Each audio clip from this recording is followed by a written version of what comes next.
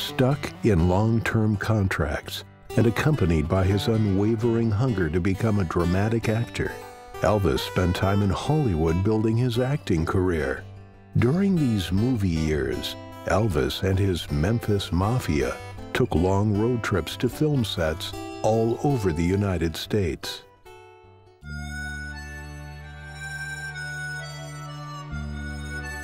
Oh man, they were wonderful years. They they were the best. The movie years were the best years that I spent with him. They were not only the first years I spent with him, but they just far outweigh the, the touring. You know, it wouldn't have bothered me if he had never toured again. I mean, if he just kept, but he wanted to make other movies, and he should have. He should have had more drama because you see King Creole and Jailhouse Rock, you know he can carry a drama.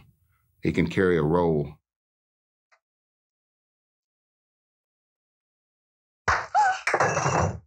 Get up. Get up, don't, baby. please. Get out. Leave her alone. Get up. Get up. Leave her alone. Come on. Get out.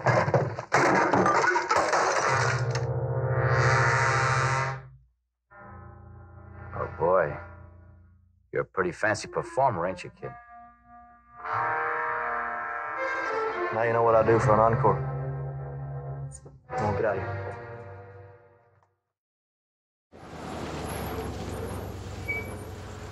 When we were out in Hollywood making the movies, even though the security thing wasn't as far as his life threatening, but people want to hit him or do something, I always looked out for him. I always watched his back.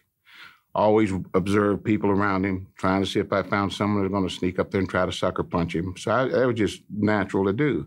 I was there in case they did, and I was always right close to him, so I would be between them and take him out. And the contracts were signed like four years in For love advance. pictures. So I had thought that uh, they would try to get a new property for me or give me a chance to show some kind of acting ability or do a very interesting story. But it did not change. It did not change. And so I, I- became very discouraged. They couldn't have paid me no amount of money in the world to make me feel any uh, self-satisfaction inside. He talked about them as being travel logs starring Elvis Presley. He said, I go somewhere and I get in a fight and I sing to women and I sing to the guy after I hit him, and he would make little jokes about it. He says, travel log, Hawaii, uh, Mexico, you know, everywhere he went. But yet you still did them. You must I, have forced yourself. I had to. I had to. What kind of film would you have liked to have been if you would have had your choice? That's hard to say. I, uh, I would like to have something that was more challenging instead of Hollywood's image of what they thought I was. Elvis would have, in any role, would have adapted to it and been able to perform fantastic. When I went to work for him in 64, he had been back from the Army four years. He did a two or three, you know, good movies when he came back. But the movies were getting weaker and weaker, and the soundtracks were getting, in some cases, more ridiculous and more ridiculous. And he didn't want to record too many movie songs. And he was promised when he did a movie song especially a situation scene, that they would never be released on records. It was another uh, lie to Elvis. You know, when he did uh, "Oh McDonald Had a Farm," that was never to come out.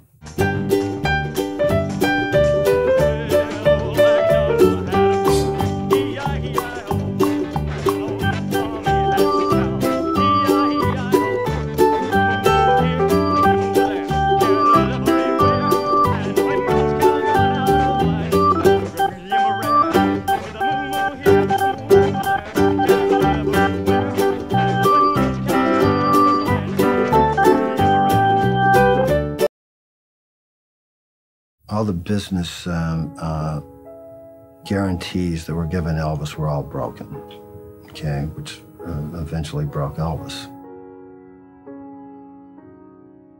Elvis's meteoric ascent to fame continued throughout the 60s.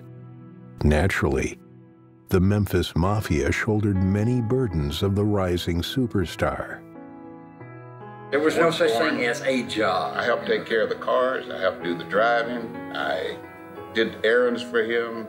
Uh, we just did everything. The security evolved over a period of time because of how he became more out there. Remember, he, I think the term like in the 1960s. The job stayed very fluid. And during the 60s, he didn't, you know, he wasn't uh, out in the public that much. He was making Yeah. movies, guys. So he, Yeah. they had security We lived, we at, lived in at cars, the studio. house, and studio. They had That's where we security on We the didn't even wear soundstage.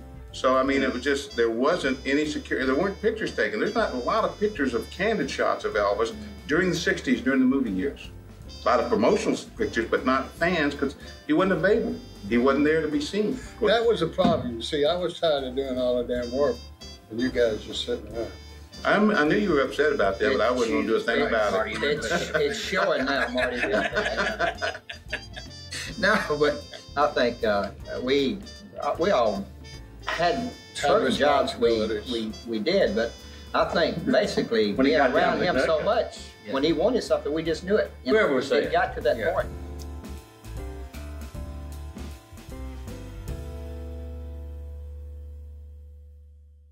In the movie years, the drugs were in control. The sleeping pills and the the uppers. And he said, I want to be sure, you know, we stay up all night. We, we drive all night. I know you're not used to it. And I want you to, you know, keep up as far as your attitude is concerned. So he said, I want to show you something. So out of his pocket came a little blue velvet case, a jewelry box. He said, open it up.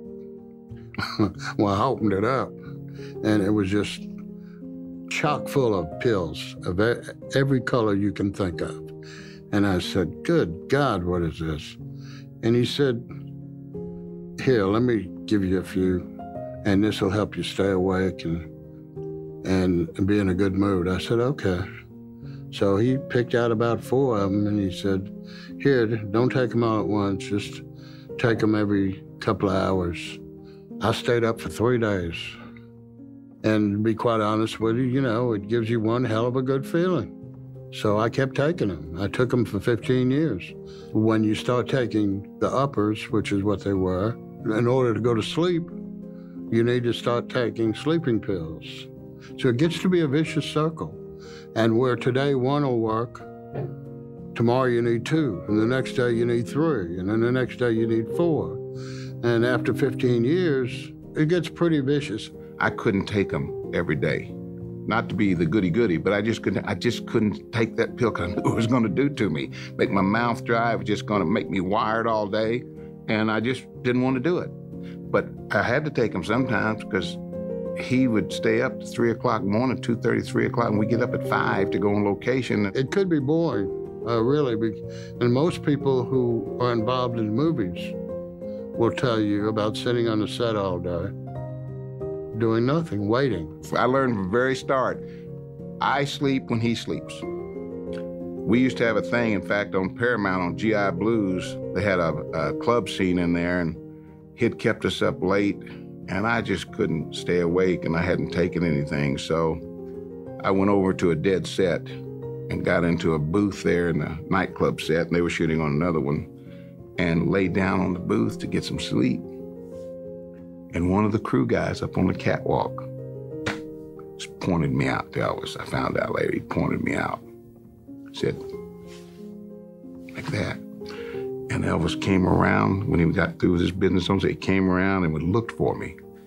And he saw me through there because there a couple of tables stacked up. And I kind of put a little camouflage so I couldn't be seen easy. Oh man, he threw that table and chair, and I woke up straight up. He said, Damn you, Sonny, I told you you sleep when I sleep. I said, I'm, I'm up, boss. I just took a break, just took a break.